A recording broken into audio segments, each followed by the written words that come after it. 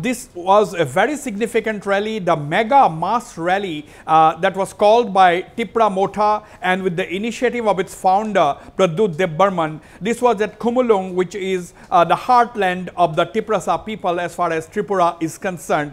Uh, and they had invited the NPP leader and uh, Meghalaya Chief Minister Conrad Sangma as the chief guest. Now, if we have listened to the speeches by these two top leaders, that is uh, Meghalaya Chief Minister Conrad Sangma and Pradyut Debbarman, the founder of Tiprasa, it is very clear that today has been a very, very significant day in the socio-political arena of the northeastern region. As we all know, the northeast, 45 million people in the whole of the northeastern states and the majority of them are indigenous people. Now, uh, we have we have heard in the northeast uh, several organizations to talk about tribal solidarity, tribal unity, but this is little broad based. Uh, well, we are also aware that the Tipra Motha is leading the cause of the Tiprasa people and is fighting uh, for a greater Tipra land. that has been the main demand of the uh, Tipra Motha. There are other political parties, other political and social organizations elsewhere in the northeastern region uh, who are fighting for the cause of the uh, tribal people. But this time round, the this mega rally that was organized by the Tipra uh, Motha uh, today, where Conrad Sangma also attended, this can be seen as a, the first step towards the evolution or formation of a platform that is going to give voice to the indigenous people of the northeastern region. Now, uh, indigenous people is a broader terminology than tribes people actually. When we call indigenous people in the northeastern region, apart from all the ethnic groups who, who are of course the sons of the soil, there are other groups. For example, if you take into account uh, the, the case of Assam, where the Assamese Muslims uh, have also been recognized as indigenous people officially by the government of Assam through a notification not, not long ago under the present government headed by Dr. Himanta Biswa Sarma. Similarly, if we look into the Barak Valley, there are the Bishnupriya Manipuris, there are the Kachari Muslims who owe their uh, history, who are uh, as old as the Kachari kingdom that is dates back to 4 to 500 year old history.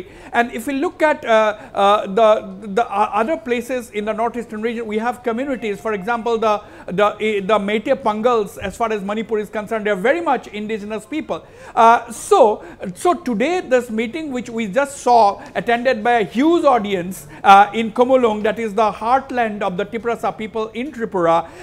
This, this can be called def definitely we can say that this is the beginning of a new movement uh, where a force are uniting slowly uh, to talk or to lend voice to the demands, to the aspirations, to the hopes of the indigenous people of, of, of the northeastern region. As we heard uh, Conrad Sangma, the NPP leader and uh, Chief Minister of Meghalaya, uh, well addressing that large gathering, he said that uh, we are not here to, to fight any political party. We are not here against com any community, but we are here to talk about the rights and about the hopes and aspirations of the indigenous people. And he said, he said that if the indigenous people do not take up their own cause, there will be nobody who will come forward to take up their cause. So, he, so that is what he has sent out a clear message. And as far as Pradyut Debbarman is concerned, he said that uh, indigenous people uh, means indigenous people in the northeastern region. That will be that will be could be Khasis, could be Tiprasas, uh, could be Bodos, could be Meiteis, and so on and so forth. Uh, uh, Nagas, of course. Uh, now, now, as far as this is concerned, this is certainly a very big development as far as the region's socio-political firmament is concerned.